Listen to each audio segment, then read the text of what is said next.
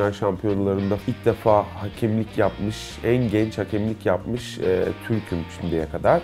Normal bir bireye göre bu biraz e, abartı gelebilir ama e, ortalama 300 kat daha hızlı karar ver, verebilme yeteneğine sahip olabiliyor yelken yapan bir kişi. Kendim yapıyorum evet ama e, dünyanın bir kere en medeni, en güzel, herkese açık sporlarından biri olduğunu düşünüyorum. 7'den 70'e lafı yelken için gerçekten geçerli. Rüzgarı her zaman olan, denizi, iklimi müsait çok az yer var dünyada aslında. Maalesef deniz kültürü bizim coğrafyamıza çok derin, derinine işleyememiş.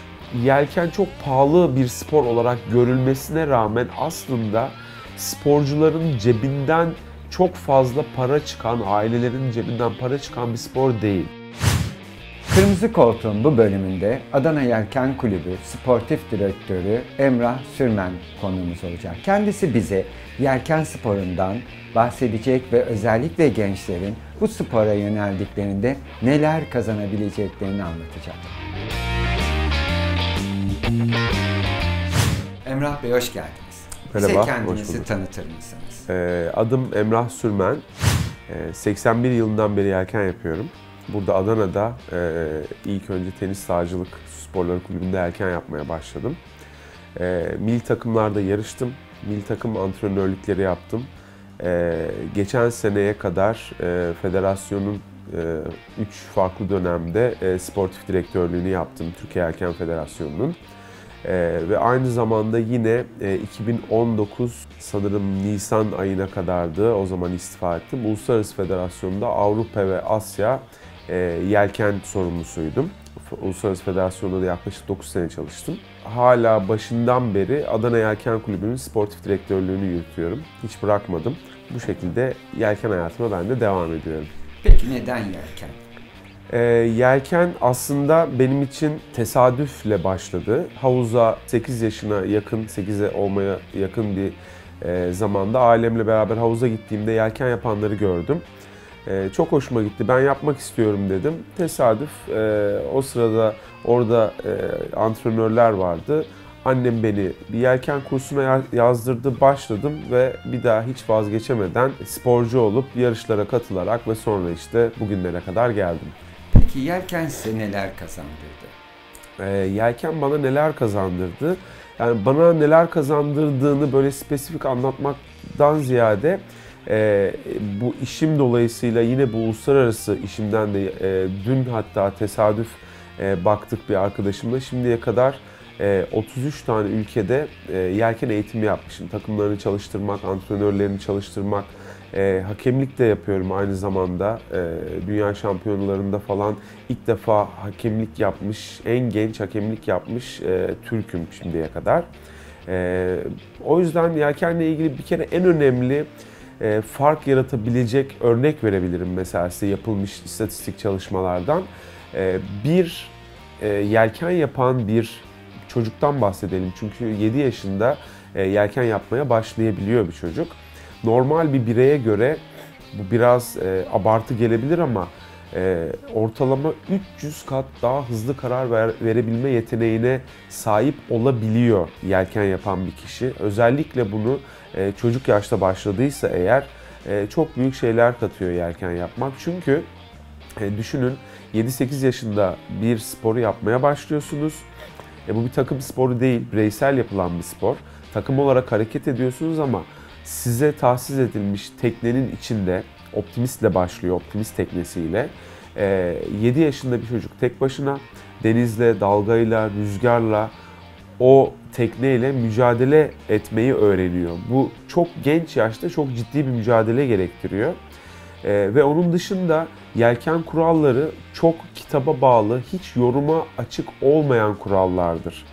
Ee, bu kuralları öğreniyor ve e, her yarış sonunda eğer yarış içerisinde kural ihlali varsa bir mahkeme gibi bir hakem heyeti kuruluyor ve e, bu sporcu bu hakem heyetinin karşısında şahitleriyle, karşıdaki tarafla e, resmen mahkeme gibi kendini savunmayı ve kendini kurallara göre savunmayı öğreniyor. Ve bu hayatına çok şeyler kattığına inanıyorum.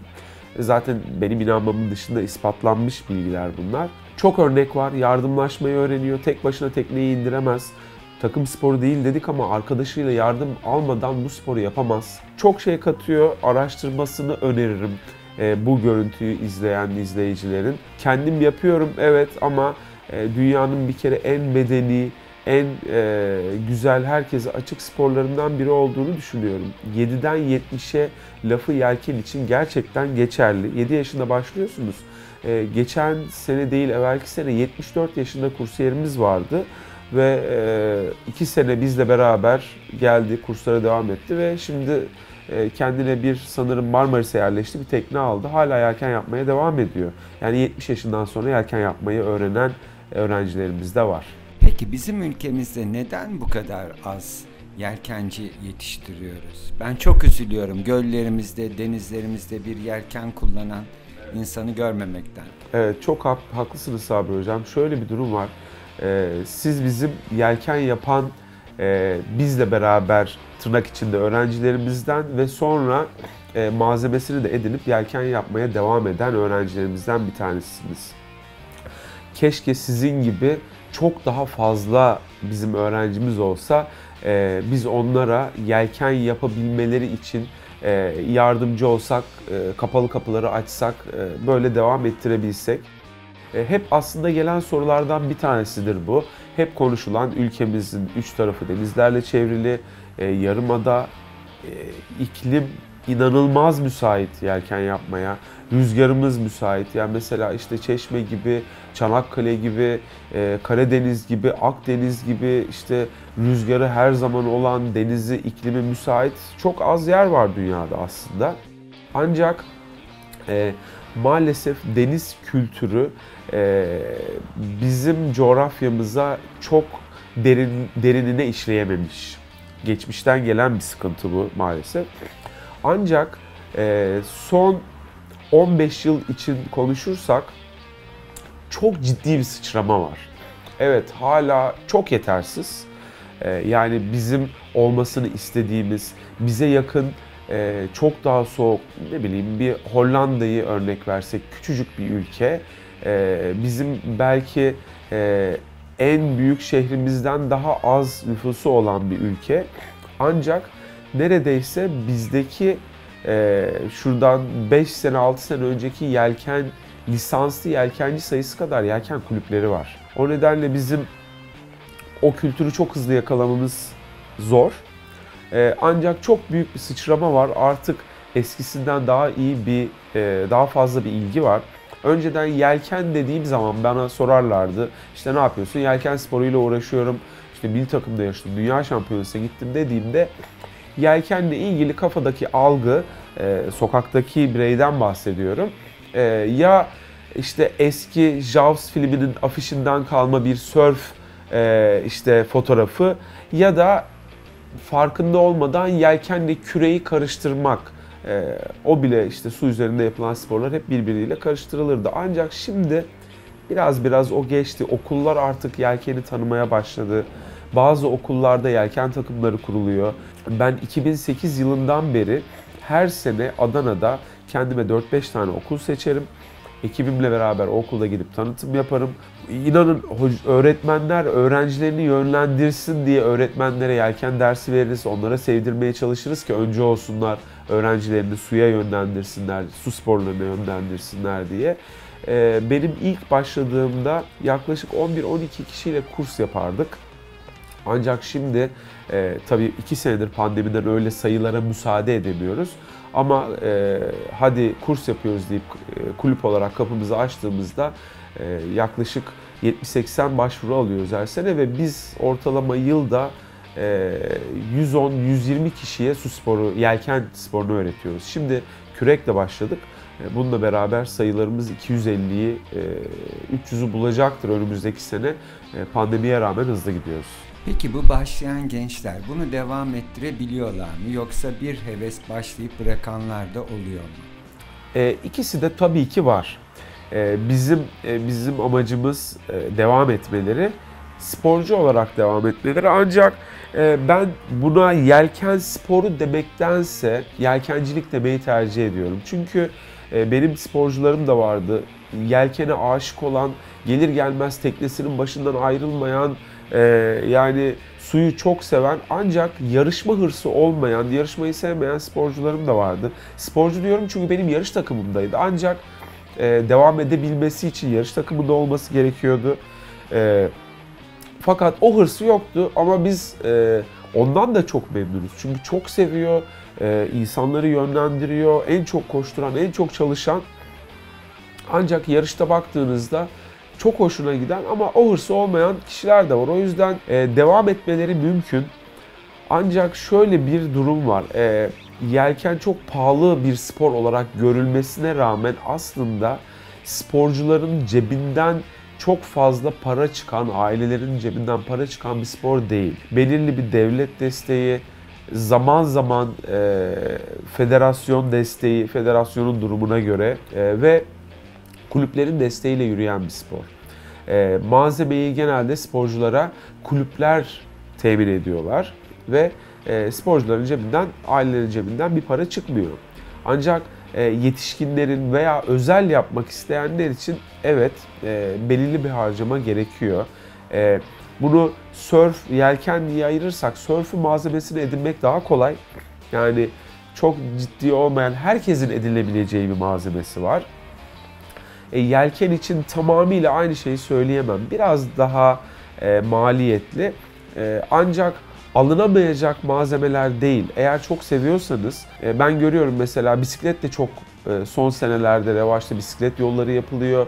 E, ben de seviyorum, arada biniyorum. İyi bir bisiklet sürücüsü artık ben her gün bisiklet yapıyorum. Bir çıktılarla 50-60 kilometre bisiklet yapıyorlar artık dikkat ediyorum, görüyorum.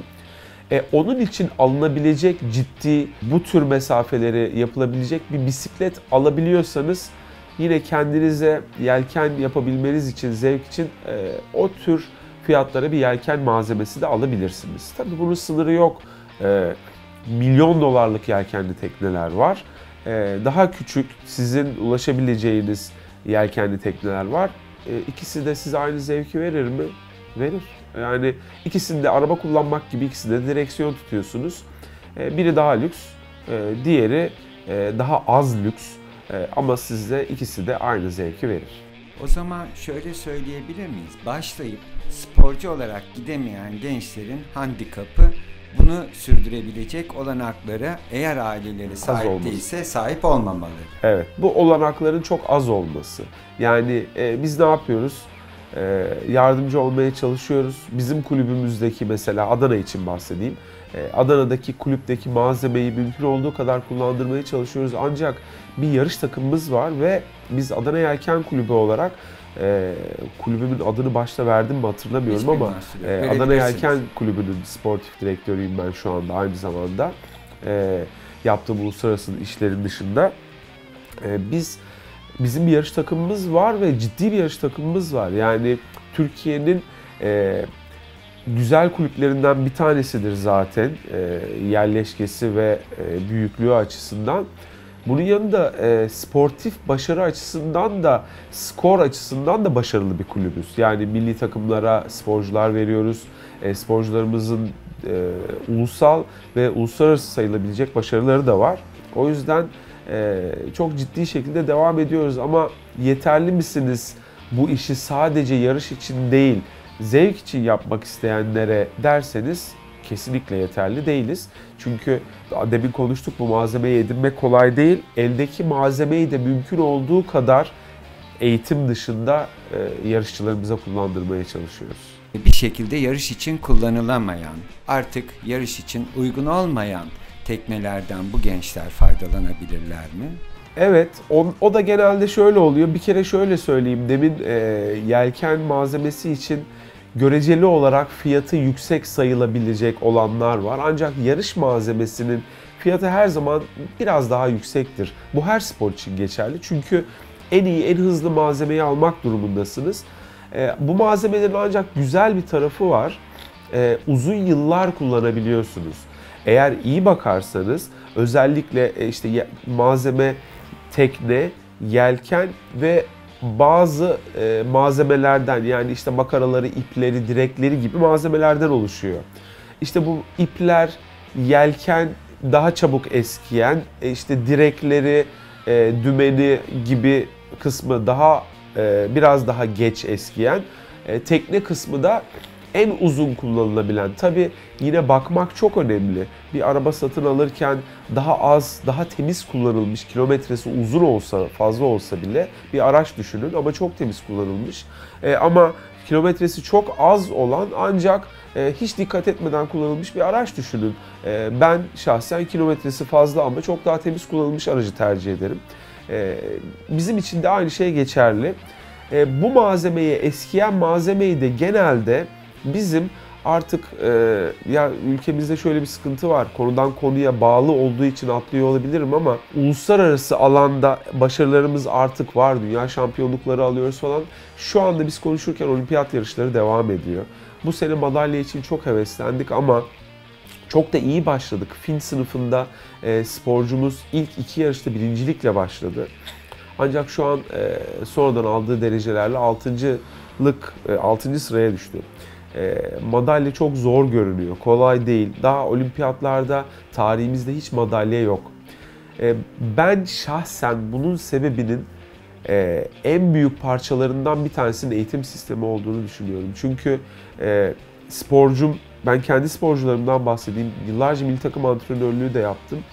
E, 18-19 yaşına geliyor ve artık pik yapması gerek. En çok antrenman yapıp vücudunu artık yüklenmeye başlayabileceğimiz ve elit sporcu seviyesine gelebilecek yaşa sporcu geldiğinde önüne iki tane yol çıkıyor. Ya sporu seçecek ve e, yani böyle çok akademik kariyerle beraber olimpik bunların ikisini beraber götürmeniz çok zor. Yani neredeyse imkansız çünkü sporun her dalı çok emek istiyor. Eğer e, elit sporcu olmak yani olimpik seviyede yarışmak istiyorsanız ve maalesef ülkedeki ekonomik şartlar, işte çalışma ihtiyacı genelde çocuğa, sporcuya e, akademik yolu seçmek zorunda bırakıyor. Ve e, bu bizi çok etkiliyor sportif başarı açısından, uluslararası başarı açısından. Bizim sporcularımız da aynı şeyleri yaşıyor ancak yelkenden de kopmak istemiyorlar. Üniversiteye başlıyorlar, kimisi devam ediyor işte mümkün olduğu kadar, kimisi bırakıyor. İşte bu eskiyen teknelerimizi gelip bu sporcular kullanıyorlar ya da örneğin sizin gibi gelip e, bu spora zamanında tanışmış, gönül vermiş, e, evet yarışmıyor, kendi mesleği var e, ancak yapmak istiyor. E, bu tekneler işte ne oluyor? E, buradaki tekne İstanbul'a, İstanbul'daki tekne Ankara'ya. Türkiye'de bu tekneler kullanılmaz hale gelene kadar dolaşıyor. Satılıyor, hediye ediliyor. İşte kimi zaman eski yarışçılar ben yarışacağım deyip yarışlara giriyor, kullanıyor. E, bir şekilde değerlendiriyorlar. Peki üçüncü bir e, faktör olarak ya da açılım olarak bu sporcuların spor eğitmeni olmasını önerir misiniz? O da çok güzel bir açılım. Hem sporuna devam eder hem e, bir şekilde eğitmen olur. Aslında önümüzdeki seneler ve şu an yaşadığımız dönem için bence çok güzel ve konuşulması gereken bir soru sordunuz. Önceden e, yelken antrenörlüğü, yelken sporundan para kazanmak çok daha zordu. Çünkü aşırı futbol gibi, basketbol gibi, voleybol gibi böyle profesyonel sayılabilecek sporlardan bahsediyorum. Takımları olan bonservisleri, işte transferleri olan branşlar gibi değil.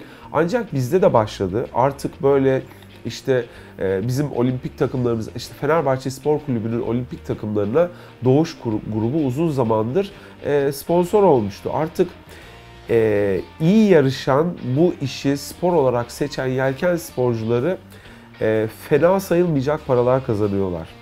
Hatta yelken antrenörleri de artık e, en az memur düzeyinde para kazanıyorlar. Eğer iyi bir antrenör ve iyi takımlarla ve daha güçlü kulüplerde çalışıyorsanız e, yani hatırı sayılabilecek sizi e, bizim ülkemizin şartlarında iyi yaşatabilecek paralar kazanmaya başladılar yelken antrenörleri. Yelken antrenörlüğü artık bir meslek olarak kabul ediliyor. Şöyle bir şey var, yelken eğitmenlerinin elini çok güçlendirecek bir çalışma yapmıştık. 2010 yılında e, isimlerini de çok anmadan geçemeyeceğim. Bir, ta, bir ki rahmetli oldu Mustafa Miharbi diye eğitim kurulumuzda bir eski yelkenci ve hala devam eden e, artık böyle kendini emekli yelkenci sayan ama fiilen içinde olan Yalçın Gürkan diye abimiz ve ben üçümüz birlikte bir çalışma yaptık ve e, Türk yelkenciliği için bir müfredat yazıldı. Ve e, bu Türkiye'deki tüm spor disiplinleri içinde bir ilk oldu. Ve bu müfredat e, zamanın Milli Eğitim Bakanı Nimet Çubukçu tarafından e, onaylandı. Artık yani Yelken'in e, onaylanmış bir müfredatı var Milli Eğitim Bakanlığı tarafından. İlk oldu ve sanırım arkasına dalış, basketbol, kürek bunlar müfredatlarını yazmaya başladılar. Şu an ne durumdalar, onaylatabildiler mi bilmiyorum. Çok da zor. 2-3 seneye yakın e, dirsek çürütüldü bunun üstünde ve Milli Eğitim Bakanlığı'nın kapıları aşın, aşındırıldı. Ama ondan sonra bu program uygulanmaya başladı. Şu anda Türkiye'de eğitim veren yelken eğitmenleri, eğitmenlikle antrenörlüğü ayırt edelim. Başlangıç seviyesinden bahsediyorum. Hepsi e, Milli Eğitim Bakanlığı'ndan onaylanmış müfredatı tanıyan yelken eğitmenleridir. E, mesela bizim burada e, Sabri Bey'de size de eğitim vermiş Armağan Hocam mesela ve e, yine bizle beraber çalışan Dorkan Hocam biri sörf, biri yelken eğitmeni. E, ikisi de benim yelken antrenörlüğüne ilk başladığımdaki ilk sporcularım aslında. İkisi de milli takımlarda yarıştılar. Milli takım antrenörlüğü yaptılar. Hala zaman zaman yapıyorlar. İş olarak antrenörlüğü seçtiler. Yine bu iki sporcunun, bizim antrenörümüzün kardeşleri de benim sporcumdu. Onlar ikisi de yine başka kulüplerde Adana dışında antrenörlük yapıyorlar. Benim tesadüf ilk antrenörlüğe başladığım sene sporculuğa başlayan yaklaşık sanırım şu an 9'u ya da 10'u bunu iş olarak seçtiler yelkenciliği ve farklı kulüplerde, farklı illerde antrenörlük yapmaya devam ediyorlar ve e, gayet iyi de hayatlarını, geçimlerini sağlıyorlar. Birçoğu evlendiler, çocukları oldu. E, o yüzden tavsiye ederim. E, hayatınızı geçindirebilecek paraları kazanabilirsiniz yelken antrenörlüğünden. Yelkenle ilgili hayatınızda en unutamadığınız bir olayı paylaşır mısınız? Dedim ya Uluslararası Federasyon'da uzunca yıllar çalıştım ve ülkelere gidip e, yelken sporunu geliştirmekle ilgili görevler de aldım.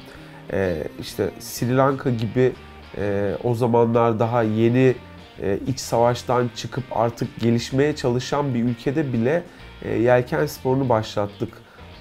O zamana kadar sadece 11 kişi hayatında yelkenli tekneye binip yelken yapmıştı. E, şu anda sanırım yüzün üzerinde yelken sporcuları var ülkede. O yüzden yelken o ülkelerde okyanusta küçücük bir adasınız her tarafınız okyanusu açık. Tehlikeli bir spor değil. Yapılan çalışmalar dünyanın aslında kurallara uyulursa en güvenli, en az kaza yaşayan, yaralanmalı kaza yaşayan sporcular sporlarından bir tanesi yelken. E, evet insanlar korkuyorlar. Doğal deniz korkusu bizim ülkemizde de çok. E, yani denize yapılacak bir şey ilk soru boğulma. İlk kafaya gelen ilk şey acaba boğulur muyuz?